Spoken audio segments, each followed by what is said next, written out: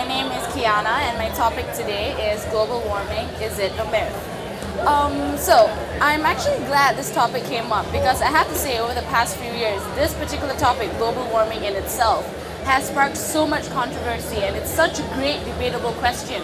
Because if you look at the world today, you've got two parties battling this issue. You've got the corporate conglomerates and you've got the environmental activists, right? You have governments, like even in America for the past few years with the Bush administration. Under George W. Bush and under Dick Cheney, they were actually against the whole idea of global warming because they were for the economy. They didn't want the issue of global warming being a hindrance to development. Whereas the environmental activists such as Al Gore, for example, he was constantly fighting for the cause of global warming because he felt that there was an urge to solve this issue. But regardless of whether or not you know, um, who's right and who's wrong in this giant debate. We have to realize that no matter what, at the end of the day, one thing, one good thing came out of it, and that is awareness. So as you can see every day now, um, celebrities are talking about uh, global warming all the time. They're talking about saving the environment. You can look at documentaries such as Al Gore's Inconvenient Truth, even Leonardo DiCaprio's The 11th Hour. All these different documentaries and movies are being made to spark awareness, and I believe that that's a good thing. Even companies such as Estee Lauder and the Body Shop Company, Origins, all these people are using global warming and its effects as a marketing strategy. So they're talking about, you know, recyclable items, they're talking about eco-friendly products. So from this, we can see that there is a move there's progress towards this issue.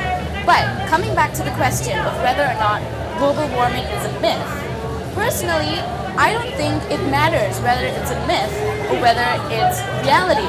Because guess what? At the end of the day, the goal remains the same, and that is to solve the problem of shortages of natural resources. My point of view is, whether or not global warming is real or whether or not it's fake, at the end of the day, if we're all pretending that it is real, the, the end product is that we do move towards progress. I mean, look at the situation now. Companies are researching and developing new ways of um, alternative methods of research and products, and I don't see anything wrong in that. In fact, the idea of a fear of global warming has actually presented a lot of reason and motivation for people around the world to actually move towards a better goal.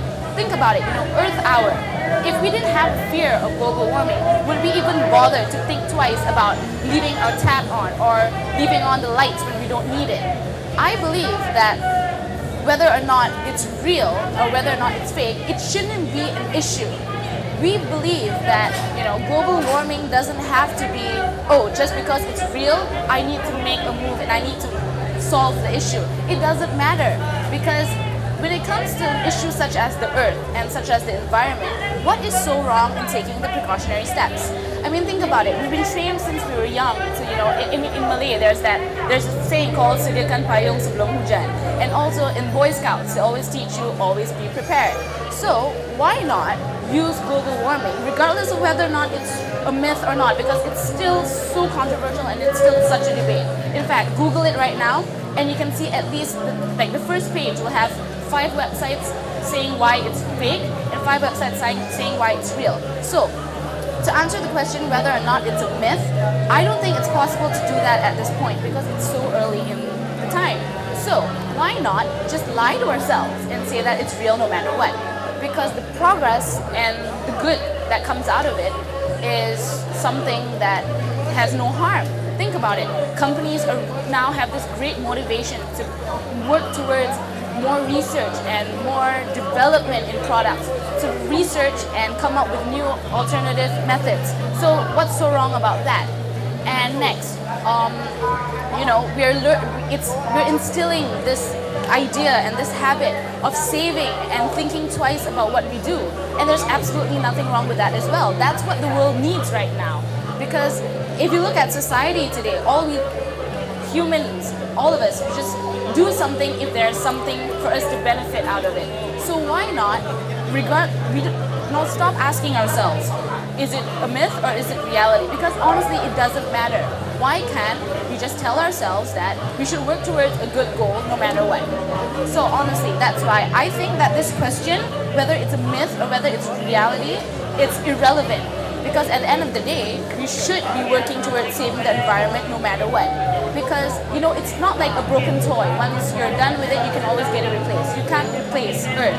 It's not something you can mess about with. So why wait till the last minute before we realize that, oh, it's a reality, now we really need to work towards solving it? Why not take the precautionary steps now? So that's why I believe that regardless of whether or not it's a myth or whether it's reality, we should make a move towards solving this issue. So that's my view on global warming. Thank you.